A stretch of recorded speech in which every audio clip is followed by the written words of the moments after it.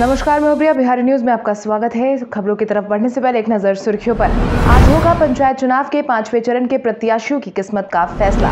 Patna junction पहुँचने के लिए बनेगा अंडरग्राउंड रास्ता। बिहार के अस्पतालों में अब ज़्यादा देर तक खुली रहेगी ओपीडी। भारत पाकिस्तान के महामुकाबले से पहले ईशान के घर वालों ने जताई है इच्छा। बिहार में मुख्यमंत्री युवा उद्यमी योजना की होड़। अब चले बढ़ते हैं बिहार की शाम तक की बड़ी खबरों की ओर विस्तार से। आज होगा पंचायत चुनाव के पाँचवें चरण के प्रत्याशियों की किस्मत का फैसला। बिहार पंचायत चुनाव के चार चरणों के सफलतापूर्वक आयोजन के बाद आज पाँचवें चरण में शामिल होने वाले प्रत्याशियों की किस्मत का फैसला हो रहा है, जिसको लेकर कुल तिरानवे उम्मीदवार मैदान में है, जिसके तहत आज अंठावन प्रखंडों में वोट डालने का काम किया जाएगा। इसको लेकर तमाम तैयारियाँ पूरी हो चुकी है। किसी भी स्थिति से निपटने के लिए पुलिस मुख्यालय भी पूरी तरह से तैयार है। हालाँकि चुनाव आयोग आज खास सावधानी भी बरतने वाला है, क्योंकि इनमें से दस ऐसे ज़िले के नाम शामिल है जो दहशतगर्द है। इन जिलों में सफलतापूर्वक चुनाव का आयोजन करवाना अपने आप में ही एक चुनौती होने वाली है, जिसके तहत ही पाँचवें चरण में लगभग चालीस हज़ार पुलिसकर्मियों की तैनाती की गई थी। साथ ही पंचायत चुनाव को लेकर सुरक्षा की चाक चौबंद कर दी गई है। लाइव वेबकास्टिंग के ज़रिए मॉनिटरिंग का काम किया गया है। बिहार के अस्पतालों में अब ज़्यादा देर तक खुली रहेगी ओपीडी। बिहार के अस्पतालों में ओपीडी के समय को विस्तार कर दिया गया है, जिसके तहत बिहार सरकारी अस्पतालों में इलाज करवाने वालों के लिए अच्छी खबर सामने आई है। बिहार सरकार ने राज्य के सरकारी अस्पतालों में ओपीडी के टाइम टेबल को बढ़ा दिया है, जिसके परिणाम स्वरूप आज सुबह नौ बजे से शाम चार बजे तक अस्पताल में टेली मेडिसिन ओपीडी संचालित रही, जिसके तहत सभी डॉक्टरों ने मरीजों को चिकित्सीय सलाह दी। इसको लेकर स्वास्थ्य मंत्री मंगल पांडे ने कहा कि ई संजीवनी टेलीमेडिसिन सेवा का विस्तार कर दिया गया है। अभी संजीवनी डॉट इन और संजीवनी ओपीडी को लेकर के सेवाएँ सप्ताह में छः दिन मरीजों के लिए उपलब्ध रहेंगी। पहले ई संजीवनी इन के माध्यम से सोमवार, गुरुवार और शनिवार और ई संजीवनी ओपीडी के माध्यम से प्रत्येक मंगलवार, बुधवार और शुक्रवार को यह सुविधा मिलती थी, लेकिन अब सप्ताह में छह दिन सुविधा मिलने वाली है। लालू प्रसाद यादव के आगमन को लेकर बिहार में खासा तैयारी। लालू प्रसाद यादव के आगमन को लेकर लगातार खबरें मीडिया में सामने आ रही थी और यही कारण है कि उनके भव्य स्वागत को लेकर राजद कार्यालय में भी पहले से ही तैयारियों का सिलसिला शुरू कर दिया गया था। इसी कड़ी में राजद कार्यालय में उनके स्वागत के लिए पार्टी सिंबल लालटेन, जो कि छह टन का है, उसे लगाया गया था।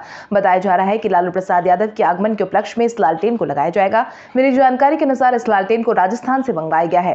गुलाबी पत्थर से बने इस लालटेन को तीन हिस्सों में बांटकर पटना लाया गया है। पटना कार्यालय में इसे स्थापित करने के लिए छह फीट का बेसमेंट भी तैयार किया गया है, जिसके बाद अब कार्यालय में आकर्षण का केंद्र यह लालटेन होगा। इस जगह पर बाहर से राजद कार्य में आने वाले कार्यकर्ता शौक से सेल्फी भी ले सकेंगे।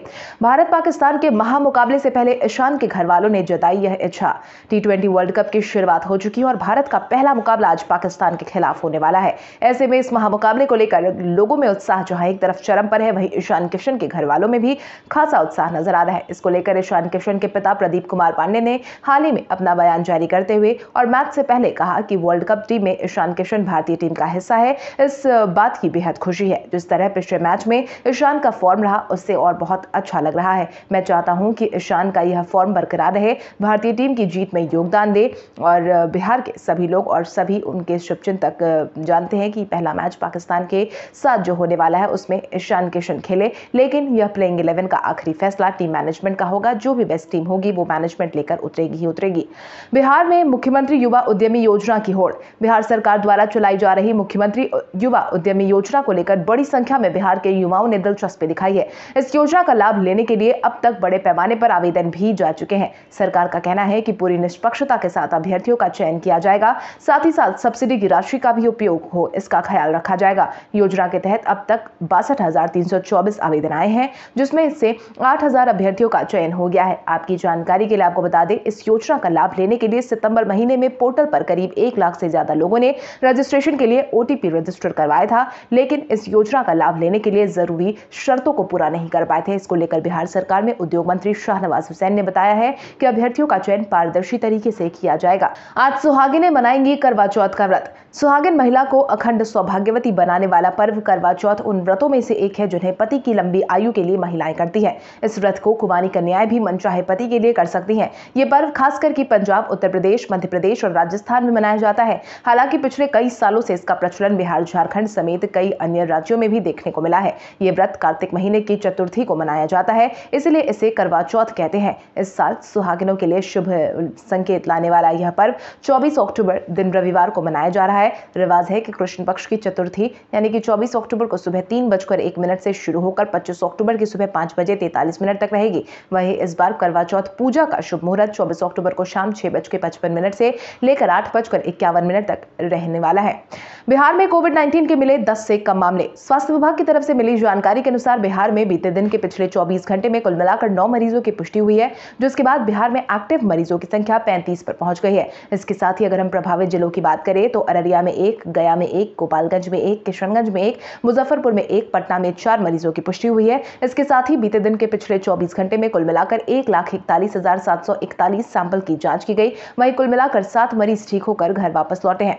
बिहार में नहीं है बारिश के कोई आसार। बिहार में ठंड तेज़ी से पैर पसारते जा रहा है, जिसके कारण राजधानी पटना समेत राज्य भर के अधिकतम जिलों में तापमान में तेज़ी से गिरावट दर्ज की गई है। मौसम वैज्ञानिक केंद्र पटना की तरफ़ से मिली जानकारी के अनुसार अधिकतम तापमान के लगातार कम होने के कारण ठंड ने तेज़ी से पाँव पसारना शुरू कर दिया है। आलम कुछ यूँ है कि दिन के समय धूप की वजह से राहत है, लेकिन सूरज के ढलते ही सर्द हवाओं का एहसास लोगों को होने लगा है। खास करके अहले सुबह और रात के वक्त ठंड का एहसास ज़्यादा हो रहा है। वही राज्य भर में अब बारिश की भी कोई संभावना नहीं लग रही है, बल्कि मौसम भी शुष्क देखने को मिलेगा। मौसम विज्ञान केंद्र के मुताबिक उत्तर दक्षिण ट्रफ लाइन यूपी से झारखंड में शिफ्ट हो गई है। ऐसे में उत्तर पूर्व के इलाके में एक दो जगहों पर हल्की बारिश की संभावना है, लेकिन फ़िलहाल भारी बारिश की कोई उम्मीद नहीं है। बिहार के हाजीपुर में एक करोड़ से अधिक की हुई लूट।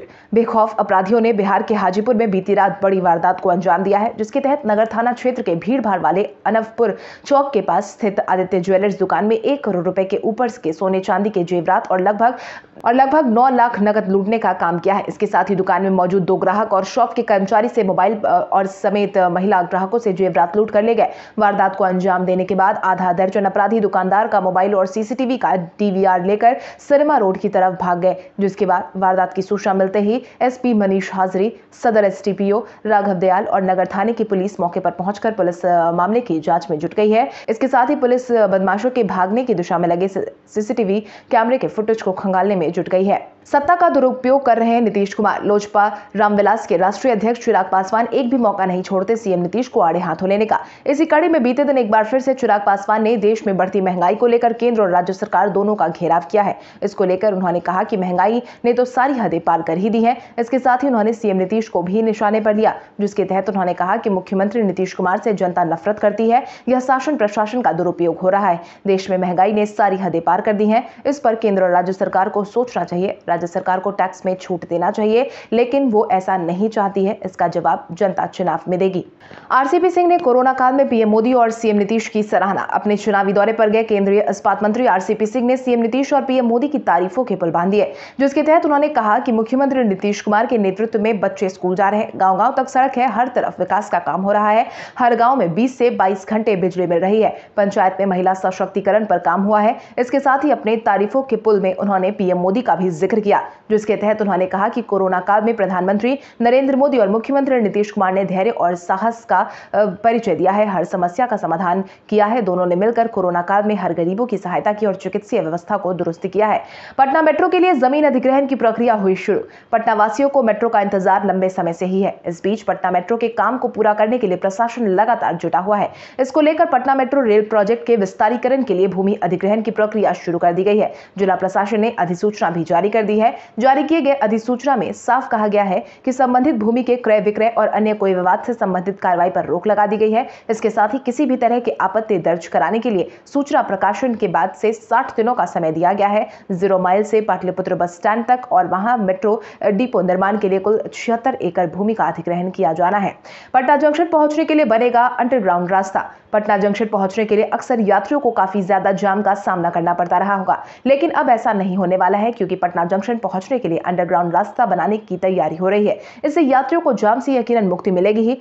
मिली जानकारी के अनुसार पटना जंक्शन तक अंडरग्राउंड रास्ता तैयार करने की योजना बनाई जा रही है। बिहार राज्य पुल निर्माण निगम की देखरेख में इसका निर्माण होना है। जानकारों की माने तो इसके निर्माण के लिए टेंडर की प्रक्रिया शुरू हो गई है। छठ पूजा के बाद निगम बोर्ड की होने वाली बैठक में टेंडर प्रोसेस पर निर्णय लिए जाने की संभावना है। बुद्ध स्मृति मल्टी पार्किंग के पास बनी सड़क के नीचे से खुदाई शुरू कर नीचे ही पटना जंक्शन परिसर तक इसका निर्माण किया जाएगा, जो की चार सौ दस मीटर लंबा होगा। जिम में मेहनत करते दिखे तेज प्रताप यादव। लालू प्रसाद यादव के बड़े बेटे तेज प्रताप यादव अपने अलग अंदाज के लिए पहचाने जाते हैं। इन दिनों भले ही अपनी पार्टी और परिवार से वो नाराज़ नज़र आ रहे हों, लेकिन उनका हर अंदाज चर्चा का विषय बना रहता है। इसी कड़ी में तेज प्रताप यादव एक नए अंदाज में नज़र आ रहे हैं। इसको लेकर तेज प्रताप यादव ने ट्विटर पर एक फ़ोटो डाली है, जिसमें वो जिम में पसीना बहाते नज़र आ रहे हैं, जिसके तहत उन्होंने फ़ोटो का कैप्शन भी दिया है और लिखा है, यदि आपको समय नहीं मिलता है, यदि आप काम नहीं करते हैं तो आपको परिणाम नहीं मिलता है। जिसके बाद तेज प्रताप की इस फ़ोटो की उनके फॉलोअर्स ने खूब तारीफ़ की है। अपनी पार्टी से अलग नज़र आ रहे तेज प्रताप ऐसे ही कुछ पोस्ट करते नज़र आ रहे हैं। कुछ दिनों पहले उन्होंने छात्र जनशक्ति परिषद नाम से अपना खुद का छात्र संगठन बनाने की घोषणा की थी। शो में पहुँचे कपल से अमिताभ बच्चन हुए परेशान। कौन बनेगा करोड़पति? तेरह में अमिताभ बच्चन अपनी होस्टिंग से शो को और इंटरेस्टिंग बना देते हैं। कभी कभी तो वो कंटेस्टेंट के साथ काफ़ी ज़्यादा मज़ाक मस्ती भी करते नज़र आते हैं। इसी बीच एक नया प्रोमो सामने आया है, जिसमें कपल आपस में नोक करते नज़र आते हैं और उनकी शिकायतों का पिटारा खत्म ही नहीं होता।